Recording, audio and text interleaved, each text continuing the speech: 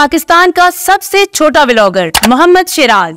वालेकुम नाजरीन, मैं हूँ हिरादार और आप देख रहे हैं पी फॉर पाकिस्तान सचिन से ताल्लुक रखने वाला नन्ना शिराज आजकल सोशल मीडिया पर तवज्जो का मरकज बना हुआ है। गिलगित बल्तिस्तान के सचिन से ताल्लुक रखने वाला नन्ना शिराज पाकिस्तान का सबसे छोटा ब्लॉगर है। नन्ना शिराज बल्ती अंदाज में टूटी फूटी उर्दू में ब्लॉग्स बनाता है, जिसे सोशल मीडिया सार्फिन की जानब ऐसी खूब पसंद किया जा रहा है। शिराज अपनी वीडियोज़ में अपने रोज़मर्रा के मामूलत ज़िंदगी और अपने गाँव को दिखाता है। है। शराज ने एक हफ़्ता पहले अपने चैनल पर वीडियो अपलोड की और एक हफ़्ते में सब्सक्राइबर्स की तादाद डेढ़ लाख तक पहुँच गई।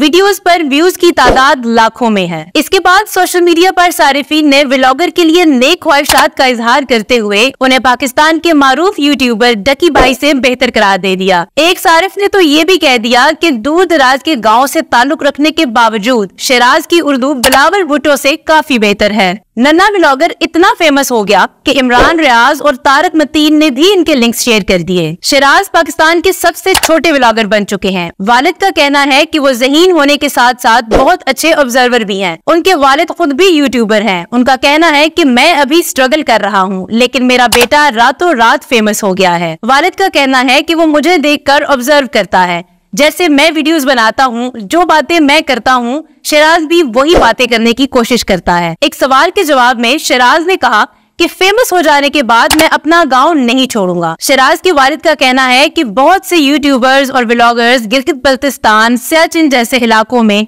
ब्लॉगिंग करने के लिए आते हैं। वो सिर्फ़ यहाँ की खूबसूरती को कवर करते हैं, लेकिन हम यहाँ की ज़िंदगी दिखाना चाहते हैं। हम दिखाना चाहते हैं कि पहाड़ों में रहने वाले लोगों को किन किन मसाइल का सामना करना पड़ता है। मजीद उनके वालिद का कहना था कि जिस गाँव से हमारा ताल्लुक है वो निहायत ही पसमानदा इलाका है। उनके वालिद का कहना है कि हमारे गाँव में हर साल सैलाब आता है। सड़कों का कोई निज़ाम नहीं है। तालीम, सेहत और पीने के साफ़ पानी के मसाइल भी दरपेश हैं। फ़ेमस हो जाने के बाद इतना फ़ायदा तो हो जाएगा कि मैं शराज और उसकी बहन को अच्छी तालीम दिलवा सकूँगा। यूट्यूबर्स और ब्लॉगर्स इन इलाकों की खूबसूरती को तो सामने रखते ही है। लेकिन क्या ही बेहतर हो कि अगर वो इन इलाकों में रहने वाले लोगों के हालात ज़िंदगी को भी एक्सप्लोर करें, ताकि दुनिया को उन मिसाइल का पता चल सके जिनसे वो इलाके दो चार हैं। मजीद वीडियोस के लिए देखते रहिए पीप और पाकिस्तान